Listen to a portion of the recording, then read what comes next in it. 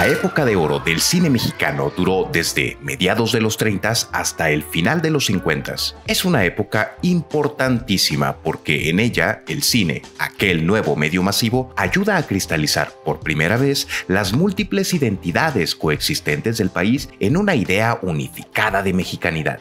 Creemos que en las películas de esta época podrás apreciar las raíces de nuestra identidad cultural y estamos seguros de que con ellas podrás enriquecer tu sentido de mexicanidad. Lo que yo decía, señor juez, ahí está el detalle. Número 6. Ahí está el detalle, de Juan Bustillo Oro, 1940. Bustillo Oro dirigió películas como Los dos monjes, que fue reverenciada por el surrealista André Breton, y En tiempos de Don Porfirio, filme que inaugura el género de la añoranza porfiriana. También fue uno de los productores más importantes de la época de oro, fundando junto con Jesús Grovas la productora Grovas Oro Films. Y aunque Mario Moreno Cantinflas ya había actuado en un par de películas sin tanto éxito, ahí está el detalle, fue la película que lo consagró como la figura que conocemos hoy en día. Excúseme usted, es usted excusado. Fue su léxico de peladito citadino y su incoherente pero casi filosófica forma de hablar, conocida hoy en día como el cantinfleo, lo que conquistó a las audiencias. Audiencias que estaban acostumbradas a personajes con locuciones rimbombantes y burguesas. Y me vas a perdonar que me retire, ¿verdad? Pero ya se me hizo tarde.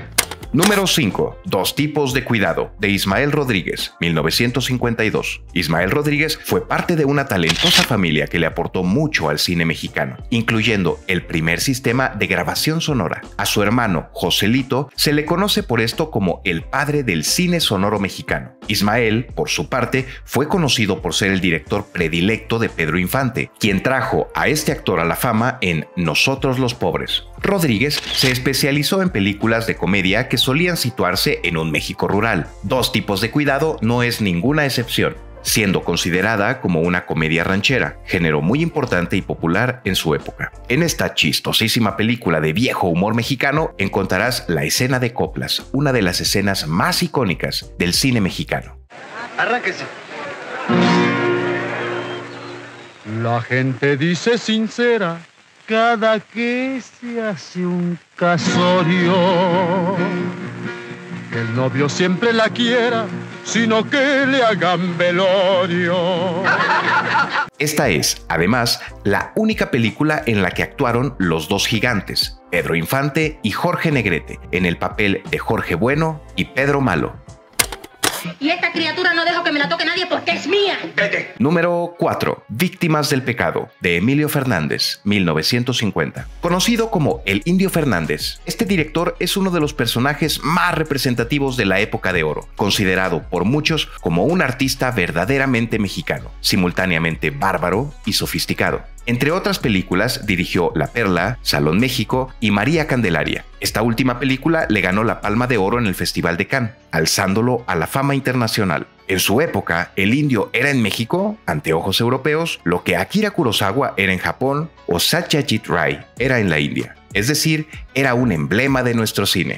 Víctimas del Pecado pertenece al género de cabareteras, que se popularizó debido a la rápida urbanización que estaba viviendo México. Este género, junto con el de cine negro, solían mostrar los lados oscuros del nuevo paisaje urbano. Víctimas del Pecado explora justo esto, internándose en la zona roja de la Ciudad de México, donde Ninón Sevilla y Tito Junco protagonizan una trágica, aunque a ratos esperanzadora, lucha contra el sombrío padrote representado por Rodolfo Acosta y contra las fuerzas de la injusticia. Número 3.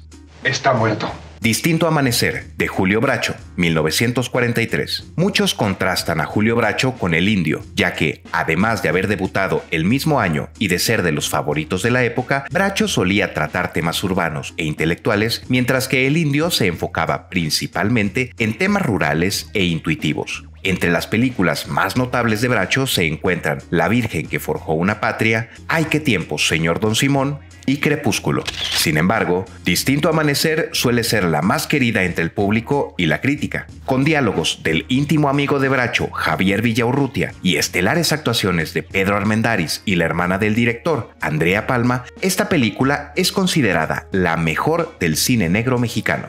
Démela o la mato. Estoy segura de que este encuentro no ha sido casual. No, lo he provocado yo.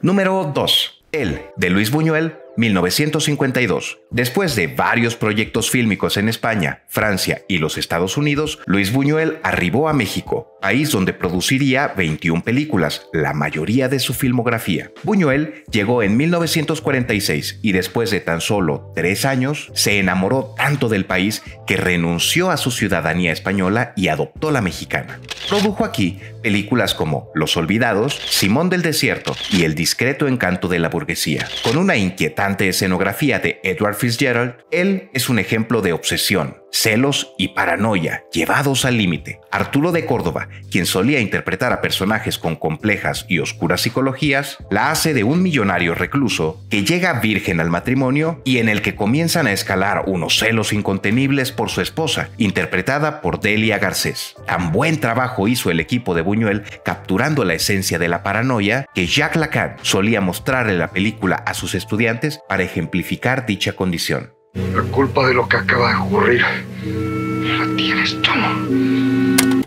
Aquí hay algo que me huele mal. Número 1. El esqueleto de la señora Morales, de Rogelio González, 1959. Aunque Rogelio González no fue un director tan conocido o aclamado, esta película tiene un guion de Luis Alcoriza, actuaciones estelares de Arturo de Córdoba y Amparo Riveles, y una combinación única de lo cómico y lo macabro, que la vuelven una obra maestra. La historia gira en torno a un taxidermista llamado Pablo Morales, quien se nos presenta como un amable y agradable un contraste total con su esposa, quien le demanda lo imposible a su esposo y abusa de él. Un día, sin embargo, la esposa desaparece misteriosamente, mientras que en el taller del señor Morales aparece un extraño esqueleto humano.